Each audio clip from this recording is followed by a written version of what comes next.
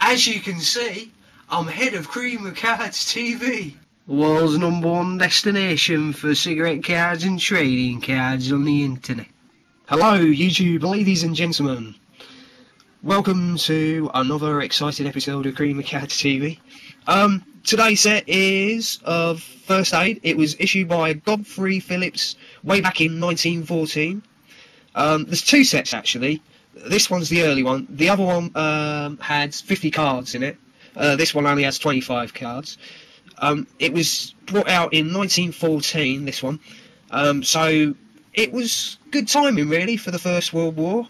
It would have come in handy, um, helping your mates out in the trenches with their uh, blown off limbs and uh, decapitated bodies. Well, it would have been too late for them, I guess. But I should imagine it.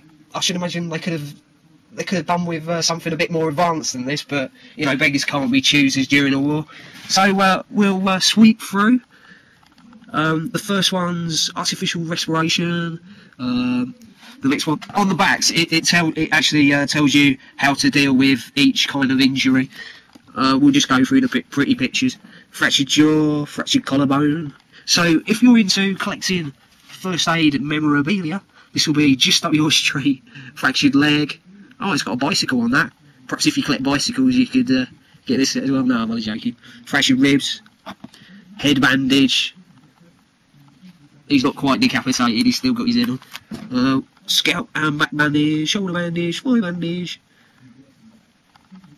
Oh, there's a there's a picture of a little bus, chest bandage. If you got crushed by a bus, that would be it, wouldn't it? Really? But uh, never mind. Uh, what's that one? Fits. All right. Fainting noticed the victim's a lady. Uh, clothes on fire. Loads of things would have been on fire as the bombs were going off. I, know, I know I'm a bit cynical, but there you go. Burns and scalds. What's this one? Ah! Suffocation by poisonous gases. Funnily enough, the Germans did use uh, gassing techniques during the First World War.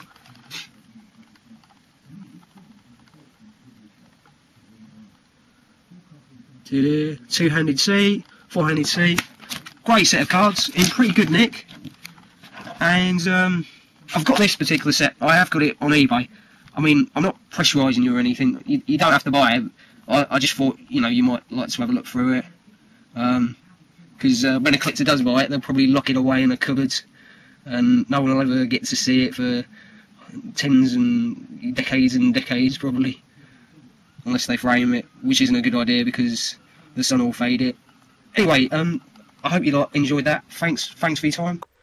If you'd like to find out more about this particular item or other such items, please feel free to pop by my website at creamofcards.com.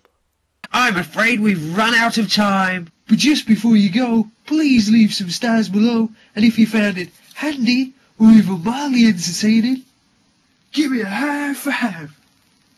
And if you'd like to see more amazing video clips like this, subscribe to the tribe by clicking on the yellow icon up in the sky.